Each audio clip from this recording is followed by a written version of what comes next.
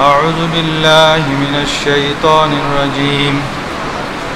بسم الله الرحمن الرحيم.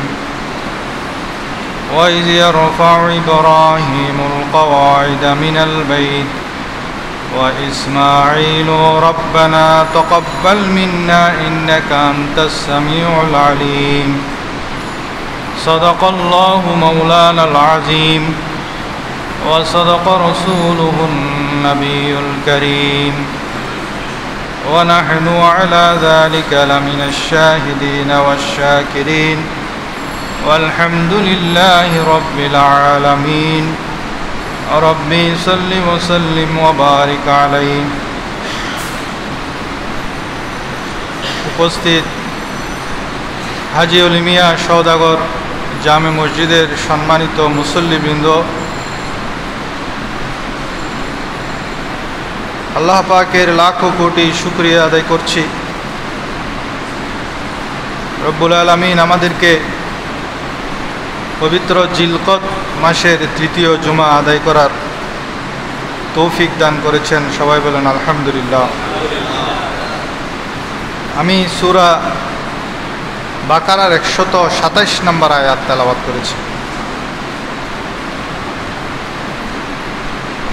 এ আয়াতের মধ্যে হজরত ইব্রাহিম আলহিসাল্লাম এবং ইসমাইল আলহিসাল্লাম কাবাঘর নির্মাণ করে যে দোয়া করেছেন, সেই দোয়াটা আল্লাহ তালা এখানে তুলে ধরেছেন। কাবা শব্দের অর্থ হলো সমতল জায়গার মধ্যে কিছু একটা ফুলে ওঠা। সমতল ভূমির মধ্যে কোনো একটা জিনিস ফুলে ওঠাকে কাবা বলা হয়। যেমন সমুদ্রের মধ্যে চর জেগে উঠে, ফুলে উঠে। ঠিক তদ্রুপ আমাদের পায়ের মধ্যে একটা ফুল আছে না, দুই পায়ের গিরা যেটা, টাকনু আমরা যেটাকে বলি। যেটাকে কি বলি? টাকনু, সেটা ফুলা না। আমাদের পায়ের টাকনুটা। যে টাকনুটা রোজা অজুর মধ্যে দোয়াটা ফরস সেই টাকনুকেও আল্লাহ তালা কাবা বলেছেন। কারণ সেটা ফুলে উঠেছে। ও আর জুলাকুম ইলাল কাবাইন।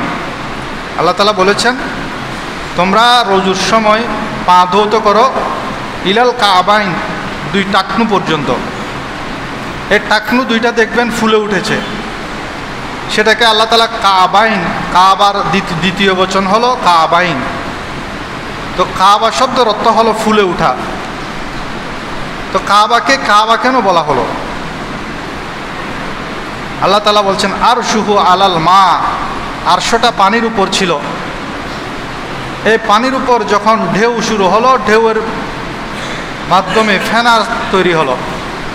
এই ফেনাগুলা থেকে মাটির সৃষ্টি হলো। ওই মাটির উপর আল্লাহ রব্বুল আলমিন সর্বপ্রথম একটি ঘর নির্মাণ করেন। যে মাটিটা পানির উপর ফুলে উঠেছিল, সেই ঘরের নাম হয়ে গেল কাবা। সবাই বলুন সোবাহান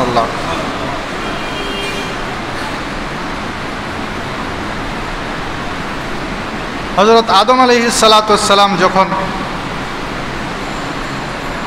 জান্নাত থেকে পৃথিবীতে আসার সিদ্ধান্ত হলো, তখন আদম আলহি সালাতাম আল্লাহর কাছে সপ্তম আসমানের মধ্যে ফেরেস্তারা যেই ঘরের তাওয়াফ করে, ওই ঘরটি দেখে আল্লাহ রব্বুল আলমিনের কাছে আরজ করলেন, হে আল্লাহ, সপ্তম আসমানে ফেরেস্তারা যেই ঘরের তাওয়াফ করে, ওই ঘরের মতো একটা ঘর আমার জন্য আপনি তৈরি করেন।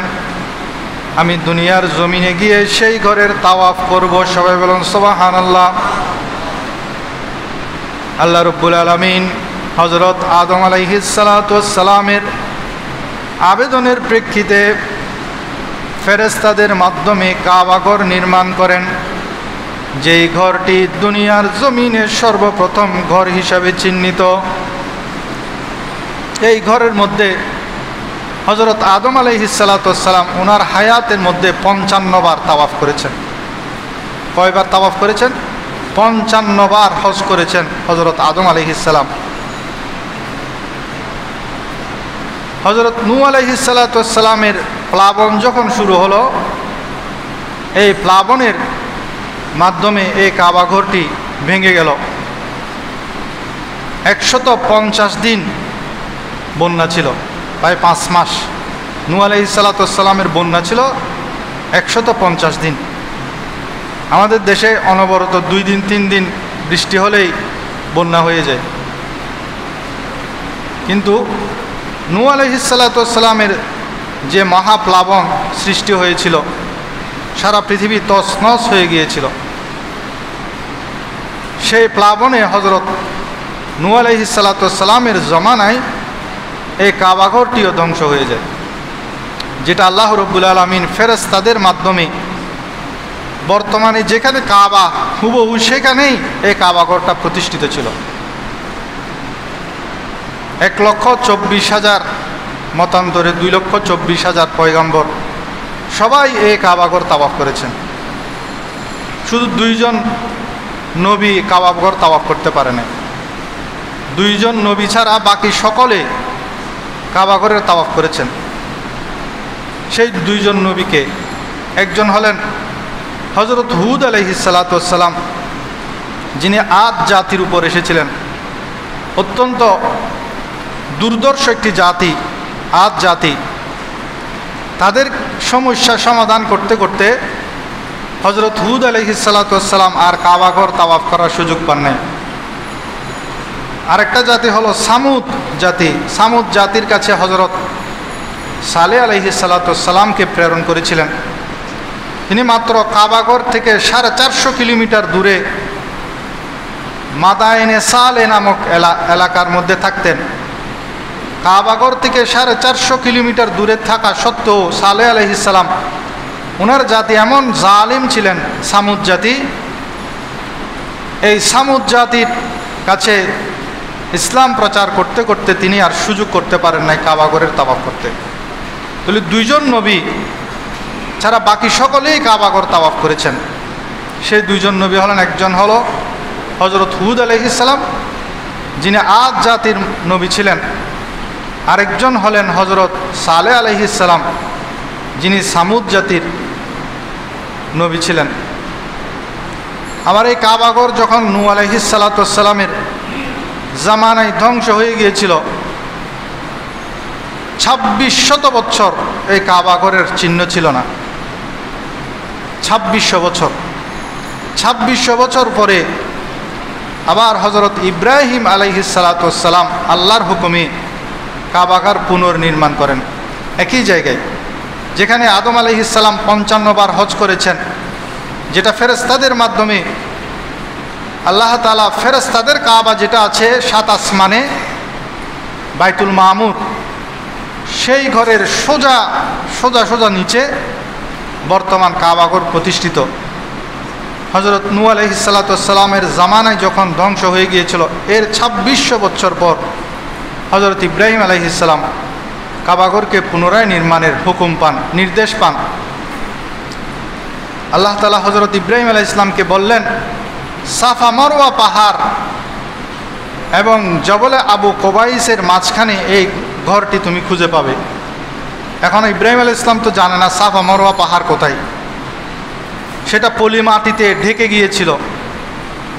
পবিত্র মক্কা নগরীতে সৌদি আরবে সাড়ে ছয় হাজার পাহাড় আছে। কয় হাজার পাহাড়? সাড়ে ছয় হাজার। ইব্রাহিম আল ইসলাম আল্লাহর হুকুম পেয়ে সিরিয়া থেকে উনি পাহাড়ের মাঝখানে ওই ঘর খুঁজতে লাগলেন। পুরানা চিহ্ন আছে, আল্লাহ বলছেন, সেখানে তুমি আগের ঘরের চিহ্ন পাবে। কিন্তু ইব্রাহিম আল ইসলাম সৌদি আরব, বর্তমান সৌদি আরব, যেটা মক্কানগরী এসে, সেখানে দেখেন সব পাহাড়, সাড়ে ছয় হাজার পাহাড়। এখন কোনটা সাফা পাহাড়, কোনটা মরোয়া পাহাড়, তখন তার জনমানব শূন্য। এই পাহাড় খুঁজতে খুঁজতে তিনি হয়রান, পেরেশান হয়ে আল্লাহর কাছে দোয়া করলেন, হে আল্লাহ, আমি তো এই এতগুলো পাহাড়ের মাঝখানে সাফা মরোয়া খুঁজে পাচ্ছি না। তোমার ঘরও আমি খুঁজে পাচ্ছি না। আমাকে সাহায্য করো। তখন আল্লাহ তালা বললেন আমি একখণ্ড মেঘ পাঠাবো। ওই মেঘটা গিয়ে যেখানে গিয়ে ছায়া দিবে, সেই জায়গায় তুমি ঘুরে দেখবে। ওই পুরানো কাবাঘর যেটা, সেটার চিহ্ন তুমি খুঁজে পাবে বলুন সুবাহান্লাহ হজরত ইব্রাহিম আলহিসাল্লাম দেখলেন, একটা মেঘখণ্ড আসলো, এসে সেটা আস্তে আস্তে যেতে লাগলেন। হজরত ইব্রাহিম খলিলুল্লাহ ওই মেঘখণ্ডকে অনুসরণ করতে করতে দেখলেন যেই জায়গায় কাবাগর আছে, বর্তমান কাবাগর সেই জায়গার মধ্যে গিয়ে মেঘখণ্ডটা দাঁড়িয়ে গেল এবং ছায়া দিল। যেই সীমানার মধ্যে ছায়া পড়ল, সেই সীমানার মধ্যে ঘুরে তিনি দেখতে পেলেন, পূর্ববর্তী আদম আলাইহিসালামের যুগের সেই কাবাগরের চিহ্ন তিনি খুঁজে পেলেন। সবাই বলেন সোহান আল্লাহ সম্পূর্ণ ভেঙে গেছে। এখন এখানে কাবাঘর তৈরি করতে, কাবাঘরটা, বর্তমান যে ঘরটা, এটা বর্ত আমাদের এখানে তিনতলার সমান হবে। হবে না? তিনতলার সমান। এই যে তিনতলা মসজিদ, এটা গাঁথনির সময়। সিঁড়ি লাগে না? সিঁড়ি লাগে। কত কিছু লাগে। কত প্রোটেকশন লাগে, রশি লাগে। এখন হজরত ইব্রাহিম আলহিসাল্লাম যখন এই ঘর নির্মাণের জন্য আল্লাহর পক্ষ থেকে নির্দেশ পেলেন তিনি খুঁজেও পেলেন, সীমানা পেলেন। আল্লাহ তালা মেঘখণ্ডের মাধ্যমে চিহ্নিত করে দিলেন। সীমানা যখন খুঁজে বের করলেন এবার, তিনি আল্লাহর কাছে প্রশ্ন করেন, হে আল্লাহ, আপনার এই পবিত্র ঘরখানি আমি নির্মাণ করব। কোন পাহাড়ের পাথর দিয়ে আমি নির্মাণ করব, আপনি একটু বলে দিন। কোন পাহাড় আপনি পছন্দ করেন? যে পাহাড়ের ইট দিয়ে আমি আপনার ঘরটাকে তৈরি করব। তখন আল্লাহ তালা হজরত ইব্রাহিম আলাই ইসলামকে ধন্যবাদ জানালেন। ইব্রাহিম, তুমি তো চাইলে তোমার পাশে সাফা পাহাড়, মরওয়া পাহাড় জবলে আবু কোবাইস পাশে যে পাহাড়গুলো আছে সেখান থেকে পাথর এনে এনে আমার হুকুম পালন করতে পারতে। কিন্তু তুমি যে আমার কাছে জিজ্ঞেস করেছ, হে আল্লাহ, তুমি কোন পাহাড়ের পাথর পছন্দ করো আমাকে একটু বলে দিন। আমি ওই পাহাড়ের পাথর এনে কাবাঘাট ঘরটাকে তৈরি করব। তুমি যে আমার পছন্দটাকে জানতে চেয়েছ, আমি কি পছন্দ করি সেটা জানতে চেয়েছো, সেজন্য তোমার, তোমাকে ধন্যবাদ। তা আমরা বান্দা হিসেবে আমাদের উচিত আল্লাহ তালা কি পছন্দ করেন সেটা আমাদের জানা। আল্লাহ যেটা পছন্দ করেন সেটা, সেই অনুযায়ী আমল করলে আল্লাহ তালা আমাদের উপর খুশি হন। অতপর আল্লাহ রব্বুল আলমিন পাঁচটি পাহাড়ের নাম বললেন। এই পাঁচটি পাহাড়ের পাথর দিয়ে হজরত ইব্রাহিম আলহিসালাতামকে বললেন যে, আমি এই পাঁচটি পাহাড়ের পাথর দিয়ে কাবাগর নির্মাণ করতে চাই। নাম্বার এক, মিশরের তুর পাহাড়। নাম্বার দুই, তুরস্কের আটশো কিলোমিটার দূরে জুদি পাহাড়, যেখানে হজরত নু আলহি সালাতামের কিস্তিটা থেমে গিয়েছিল বন্যার পরে জুদি পাহাড়, যেটা তুরস্ক থেকে আটশো মাইল দূরে অবস্থিত। তিন নম্বর, জর্ডানের জিতা পাহাড়, চতুর্থ তুরে হীরা, যেটা মক্কার একটি পাহাড়, পঞ্চমত সিরিয়ার লুবনান পাহাড়। এটি তফসির ইবনা আব্বাসের মধ্যে এই পাঁচটি পাহাড়ের নাম উল্লেখ করা হয়েছে। একটা হলো তুর পাহাড়, যেটা মিশরে অবস্থিত। দ্বিতীয়ত তুরস্কের জুদি পাহাড়, তৃতীয়ত জর্ডানের জিতা পাহাড়, চতুর্থত মক্কানগরীর হীরা পাহাড়, পঞ্চমত সিরিয়ার লুবনান পাহাড়। হজরত ইব্রাহিম আলহি সালাতাম এই পাঁচটি পাহাড়ের নাম শুনে তিনি হতবাক হত বিহবল হয়ে গেলেন কিং কর্তব্য বিমূর হয়ে গেলেন। কারণ ওনার সাথে এগারো বছর বয়সের নিজের পুত্র ইসমাইল ছাড়া আর কেউ নেই। এবার আরস করলেন, হে আল্লাহ, এত দূর থেকে পাথর, বড় বড় পাথর যদি আমি আনতে যাই, কাবাগর নির্মাণের জন্য আমি যদি সিরিয়ায় গেলাম, জর্ডানে গেলাম, আমি এত দূর থেকে পাথর সমূহ মিশর থেকে পাথর আনতে গেলে আমার হায়াত তো শেষ হয়ে যাবে। আপনার ওই কাঙ্ক্ষিত ঘর আমি আর তৈরি করতে পারব না, কারণ আমার কাছে তো কি নেই, লেবার নাই। তখন আল্লাহ তালা বলেন, হে মুসা, আমি তোমাকে হে ইব্রাহিম, আমি তোমাকে আমার পছন্দের কথা বলেছি। পাথর কীভাবে আসবে, কীভাবে আনতে হবে সেটা তোমার টেনশনের দরকার নেই। পাথরের ব্যবস্থা আমি করে দিব।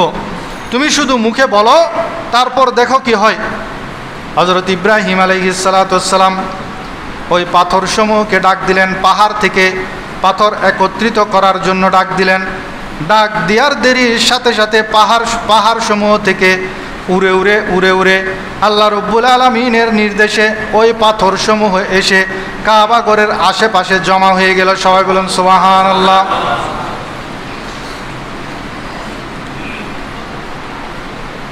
এই পাথর দিয়ে হজরত ইব্রাহিম আলহিসাল্লাতাম হজরত ইসমাইল আলহিসাল্লাতামকে নিয়ে বর্তমান যে কাবাঘর সে কাবাঘরটাকে নির্মাণ করলেন।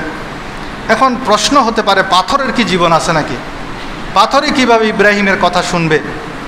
আল্লাহ তালা বলতেছেন, পাথরের জীবন আছে। আমার নবীও বলছে, পাথরের জীবন আছে।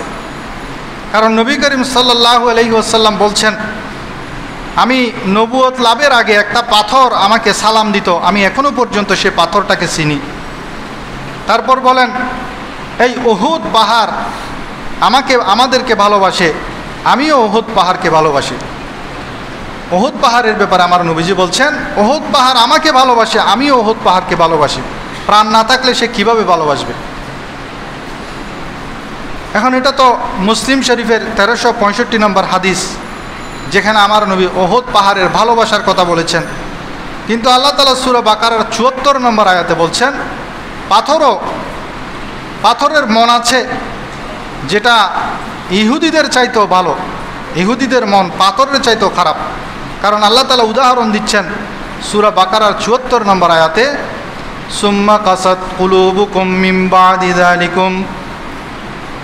ফাহিয়া কাল হিজারা আও আসাদ্দু কাসোয়া أو أشد قسوة وإن من الحجارة لما يتفجر منه الأنهار إلى آخر الآية সুরা বাকার আর চুয়াত্তর নম্বর আয়াত আল্লাহ তালা বলছেন, অতপর তোমাদের অন্তরসমূহ এরপরে কঠিন হয়ে গেল। কাদেরকে বলছেন? ইহুদিদেরকে বলছেন। ইহুদিদের অন্তরসমূহ কঠিন, কিন্তু তার চেয়েও শক্ত, পাথরের চাইতো শক্ত। অথচ পাথর কীরকম? কিছু কিছু পাথর থেকে নহর বের হয়, পানি বের হয়। আর কিছু কিছু পাথর ভেঙে চুরমাচুর হয়ে যায়। আর কিছু পাথর আল্লাহর ভয়ে কেঁপে কেঁপে পাহাড় থেকে ঝরে ঝরে পড়ে সবাই বলেন সোহান আল্লাহ তিনটা বৈশিষ্ট্য বলেছেন। কিছু পাহাড় থেকে নহর উচ্চারিত হয়, আর কিছু পাহাড় চূর্ণ হয়ে যায়, আর কিছু পাহাড় পাহাড় থেকে, কিছু পাথর পাহাড় থেকে আল্লাহর ভয়ে খাসিয়াতিল্লা আল্লাহর ভয়ে ছিঁড়ে ছিঁড়ে পড়ে যায়, সবাই বলেন সোহান আল্লাহ তো পাথরের মনেও আল্লাহর ভয় আছে। পাথর ভিতর থেকেও পানি বের হয়। কিন্তু ইহুদিরা এমন কঠিন অন্তরের তাদের ভিতর থেকে তাদেরকে যতই মজেজা দেখানো হোক, যতই আম্বিয়েকেরাম সৎ উপদেশ দিক, তাদের মন ঘামে না। তা আমাদের মধ্যেও যদি কোরআন হাদিসের কথা শুনে আমাদের মন না ঘামে, আল্লাহ আল্লাহ রসুলের কথা শুনে যদি আমাদের মন না ঘামে, তাহলে আল্লাহ তালা উদাহরণ দিচ্ছেন, তারা তো পাথরের চাইতো কঠিন। এ পাথর, পাহাড়ি পাথর চাইতো কঠিন। আল্লাহ তালা এখানে ইহুদিদের, যে তারা অনেক নবীদেরকে হত্যা করেছেন, আম্বিয়া কারামকে হত্যা করেছেন হজরত সালে আলহি সাল্লাতামের আল্লাহর নিদর্শন যেটাকে বলেছেন মুশ্রী সেটাকেও তারা হত্যা করেছে। অনেক নবীকে তারা হত্যা করেছে। তা আল্লাহর হুকুমে পাহাড় সমূহ পাঁচটি পাহাড় থেকে পাথর এসে গেল। তা আল্লাহর ঘরের মধ্যে যে পাথর সমূহ লেগেছে, সেই পাঁচটি পাহাড় সৌভাগ্যবান। পাঁচটি পাহাড় সৌভাগ্যবান। সেজন্য সেই সৌভাগ্যবান পাহাড়ের পাথর আল্লাহর ঘরে লেগেছে। এখন আপনার পকেটে টাকা আছে। এই টাকা আপনি মসজিদে লাগাচ্ছেন। আপনি মনে করবেন না সেটা আপনি দিচ্ছেন। বরং আপনি হলেন সৌভাগ্যবান। আপনি সৌভাগ্যবান এই জন্য, কারণ আপনার পকেটে আল্লাহর ঘরের জন্য ব্যবহারের কিছু টাকা পয়সা আছে। আল্লাহর ঘরের মধ্যে লাগানোর মতো কিছু টাকা পয়সা আছে, সেটা আপনি না দিতে চাইলেও অটোমেটিক চলে আসবে। ওই ইব্রাহিম আলহিসাল্লাতামের ডাকে যেমন পাহাড় থেকে পাথরসমূহ ছুটে এসেছে আল্লাহর ঘরে লাগার জন্য, সেরকম কিয়ামত পর্যন্ত আল্লাহর ঘর সমূহকে আবাদ করার জন্য আমাদের পকেট থেকে টাকা, পয়সা, রড, সিমেন্ট, এইসব কিছু আমাদের পকেট থেকে অটোমেটিক আল্লাহর ঘরে এসে লেগে যাবে। সেজন্য আল্লাহর ঘরে যখন আপনি দিচ্ছেন, আপনি আফসোস করবেন না, হতাশ হবেন না, হায়, আমার অনেক টাকা খরচ হয়ে গেছে। সেটা ভাববেন না। আপনি চিন্তা করবেন, ইব্রাহিম খলিলুল্লাহর সেই আহ্বানে পাঁচটি পাহাড় থেকে যেমন সৌভাগ্যবান পাহাড় থেকে আল্লাহর ঘরে লাগার জন্য পাথরসমূহ উড়ে উড়ে এসেছিল। ঠিক তদ্রূপ আমিও সেই সৌভাগ্যবান, আপনিও সেই সৌভাগ্যবান। আপনার সেই রুজি থেকে, আপনার সেই ইনকাম থেকে আল্লাহ রব্বুল আলমিন তার ঘরের জন্য কবুল করে নিচ্ছেন সাহেবুল সোবাহান আল্লাহ সেজন্য আল্লাহর ঘরে যখন দিবেন, মুক্ত হস্তে দিবেন, কঞ্জুসি করে নয়, মনটাকে খোলা করে চিন্তা করবেন, আপনি সৌভাগ্যবান, সেজন্য আল্লাহ তালা আপনার পক্ষ থেকে সেটা কবুল করছেন। হজরত ইব্রাহিম আলহিসাল্লাতাম কাবাঘর নির্মাণ করে আল্লাহকে ওই ঘরটাকে বুঝিয়ে দিলেন বুঝিয়ে দিলেন এবং দোয়া করলেন, যেটা আমি খোদবার শুরুতে পড়েছি।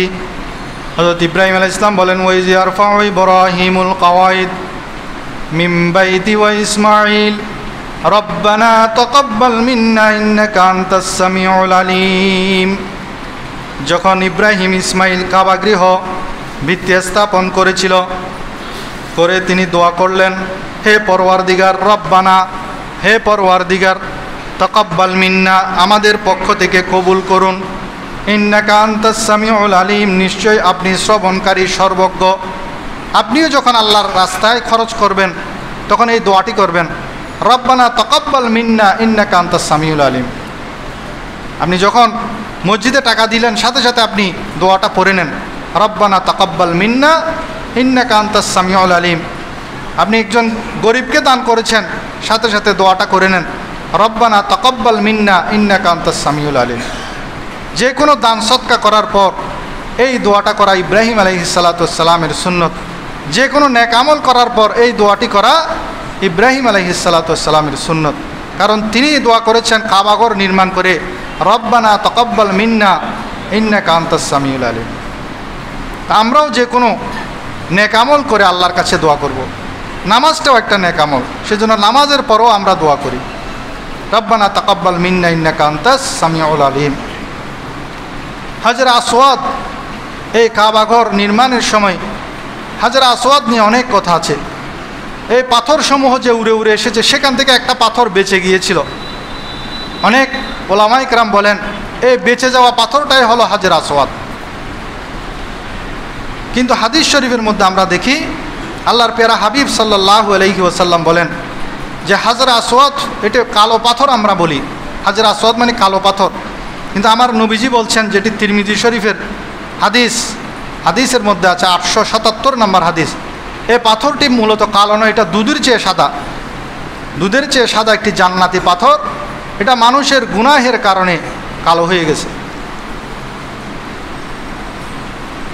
মানুষের গুনাহের কারণে এ সাদা পাথরটা কালো হয়ে গেছে। আনিবন আব্বাস ইনরাদিয়াল্লাহ তালানহু قال قال رسول الله صلى الله عليه وسلم نزل الحجر الأسود من الجنة وهو أشد بيادا من اللبن فسودته خطايا بني آدم আল্লাহর রসুল বলেন জান্নাত হতে হাজরা আসাদ অবতীর্ণ হয়েছিল দুধ হতেও বেশি সাদা দুধের চেয়েও সাদা কিন্তু এই পাথরটি আদম সন্তানের গুণা কালো করে দিয়েছে। কোন গুণা? এ কাবা ঘরে আপনারা জানেন, মূর্তি পূজা হতো। তিনশো ষাটটি মূর্তি ছিল। মানুষ উলঙ্গ হয়ে কাবাঘর তাওয়াফ করত। এমন পরিস্থিতি, এমন গুণা করত তারা। এই শিরিকের গুনার কারণে মূলত হাজরা আসোয়াদ কালো হয়ে গেছে। এই শিরিকটাকে আল্লাহ তালা ইন্না শিরক আল্লাহ জুলমুন আজিম বলেছেন, অনেক বড় জুলুম বলেছেন। আমরা শুধু শিরিক থেকে বেঁচে আছি, আলহামদুলিল্লাহ। ইমানের উপর আছি, কিন্তু অনেক ছোট ছোট জুলুম আমরা করে ফেলি।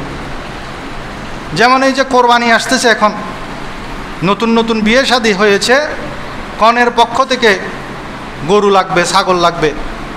এখন কনের বাবা পাঁচ লক্ষ, দশ লক্ষ টাকা খরচ করে মেয়েকে অনেক ধার করে মানুষের কাছ থেকে হাওলাত করে মেয়েকে বিয়ে দিয়েছে।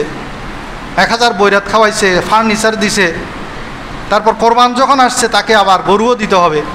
এখন একটা গরু যদি চোখে লাগে, সেরকম একটা গরু যদি দিতে হয়, কমপক্ষে দেড় থেকে দুই লাখ টাকা। এত টাকা কোথায় পাবে? এখন আপনি বরপক্ষ, ছেলের বাবা, আপনি ইশারা ইঙ্গিতে, ছেলের মা ইশারা ইঙ্গিতে মেয়েকে বলছে, ওয়া অমুকর আর অমুক আত্মীয় মেদি ইতর মেদু গরু গো দিয়ে দেওয়া তিন লাখ টিয়া। অমুক ডাইরেক্ট বলে না ইনডাইরেক্ট বলে। এই যে এই ধরনের জুলুমগুলা আমাদের চট্টগ্রামে বেশি। এই ধরনের জুলুম থেকে আমাদের সমাজকে বাঁচাতে হবে। আমাদের পরিবার পরিবারসমূহ বাঁচাতে হবে।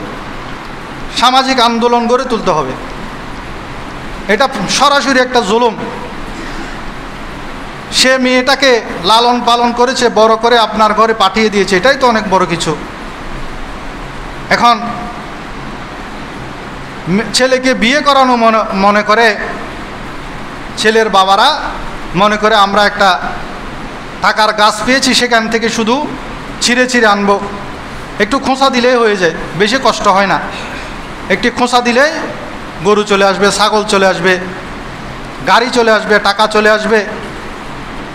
এই ধরনের পরিস্থিতি বর্তমান আমাদের চট্টগ্রামে দিন দিন বেড়ে যাচ্ছে। সেজন্য এই ধরনের জুলুম থেকে আমাদেরকে বাঁচতে হবে। আল্লাহ তালা তো বলছেন, ইন্না শিরকালা জুলমুন আজিম এটা বড় জুলুম। কিন্তু আমরা কি করতেছি? শিরিক করতেছি না। সেজন্য আমরা বেঁচে যাব না। আমরা তো ছোটো জুলুমের সাথে জড়িয়ে গেছি। সেজন্য যারা বরপক্ষ আছেন আগেভাগে বলে দিবেন, খবরদার, আমার ঘরে আপনার পরিবার থেকে কোরবানি উপলক্ষে কোনো কিছু যাতে না আসে তাহলে আপনি নিষ্কৃতি পাবেন। আপনি বলছেন না, কিন্তু আপনার ঘরে যদি ছেলের বউ একটা আছে, সে বলবে ইশারাঙ্গিতে। আপনি বলছেন না, আপনার ওয়াইফ বলছে, ঘরের মধ্যেও বলে দিবেন, কেউ যাতে কোনো ধরনের যে আমার পুত্রবধূকে কোনো ধরনের ঠেঁস ঘুষা না না মারে, এই কোরবানির গরু আনতে হবে, ছাগল আনতে হবে, এগুলো যেন না বলে। মুসলিম শরীফের ছয় হাজার চারশো তিয়াত্তর নম্বর হাদিসটা যদি আপনারা শুনেন, তাহলে বুঝতে পারবেন। একদিন নবী করিম সাল্লাহ আলহি ওসাল্লাম সাহাবাইকরামকে জিজ্ঞেস করলেন, তোমরা কি জানো সবচেয়ে অভাবী লোক কারা? নিঃস্ব লোক কারা? আমি যদি আপনাদেরকে জিজ্ঞেস করি, সবচেয়ে অভাবী লোককে আপনারা সবাই উত্তর দিবেন? অভাবী লোক হলো যার টাকা পয়সা নেই। ঠিক না? সাহাবাইকরামও সেটাই জবাব দিয়েছেন আমার নবীকে। অভাবী লোক হলো সে যার টাকা পয়সা নাই। কিন্তু নবী করিম সাল্লাহ আলহি আসাল্লাম বললেন, না, তোমরা ভুল উত্তর দিয়েছ।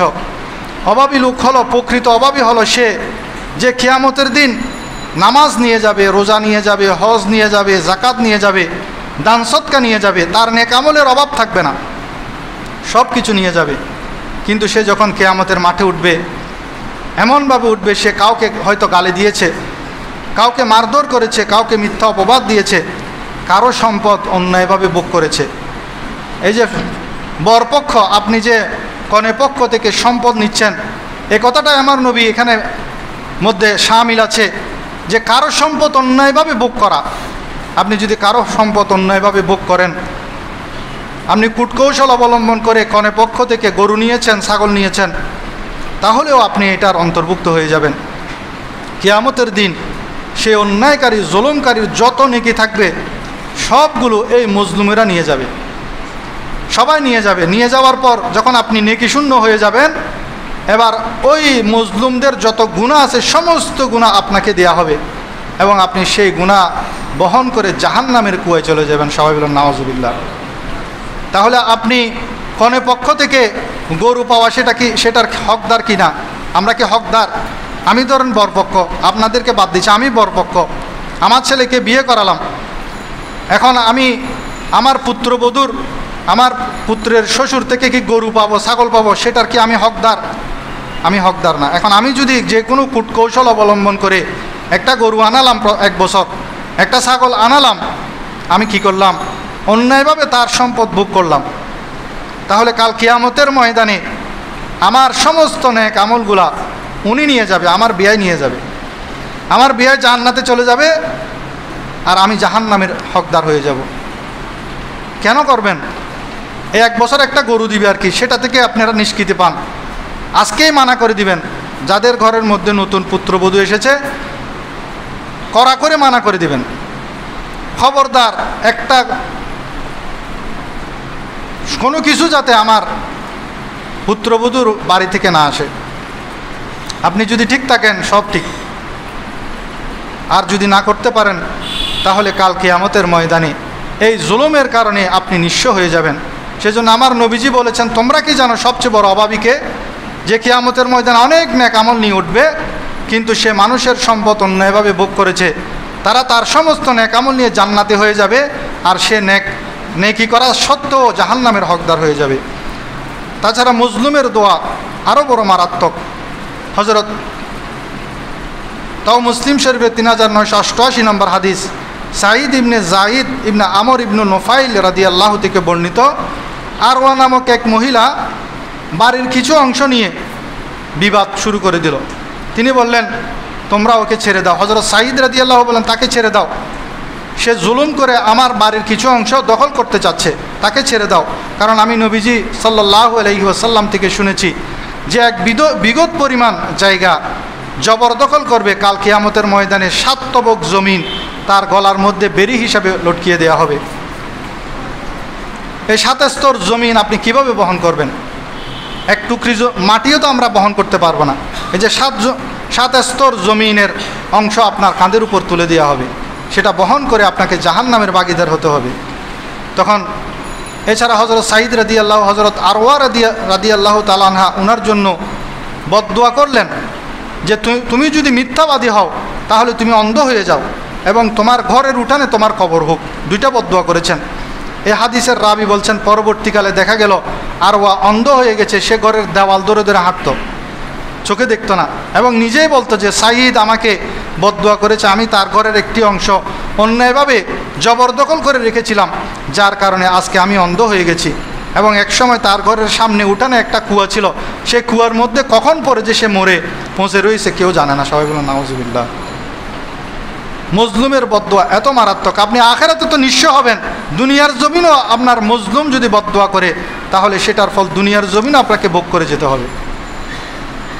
সেজন্য আমাদের উচিত মুসলিম শরীফের ছয় হাজার তিনশো চুয়াল্লিশ নম্বর হাদিস আমার নবীজি বলেন, এত্তাকু জুলমা, ফাইন্না জুলমা জুলমা তুই ইয়মাল কেয়ামা।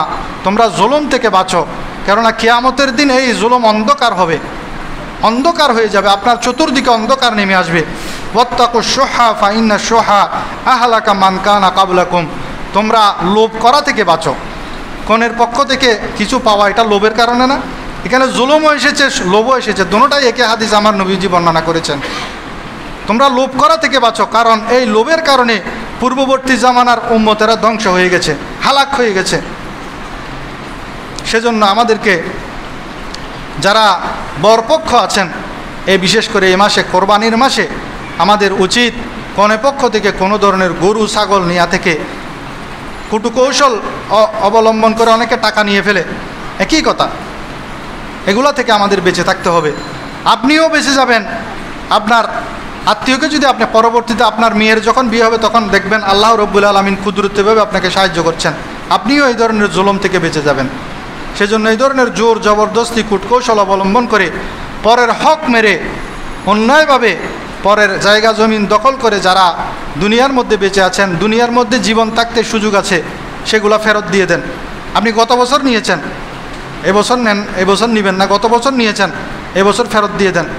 মৃত্যুর আগে আগে ফেরত দিয়ে দেন যে কোনোভাবে অথবা ফেরত যদি দিতে না পারেন, আপনার বিয়ের হাতে পাইয়ে ধরে মাপ চেয়ে নেন। ও বিয়াই আমি বুঝি নাই, আজকে ইমাম সাহেব বলছে, আমি গত বছর আপনার কাছ থেকে একটা গরু নিয়েছিলাম, আপনি আমাকে আওয়াল আকারে মাফ করে দেন। আপনার বিয়ায় অনেক মনে কষ্ট নিয়ে গরুটা দিয়েছিল সেটা যদি আপনি বুক করে থাকেন, আপনি মাফ চেয়ে নেন মৃত্যুর আগে আগে।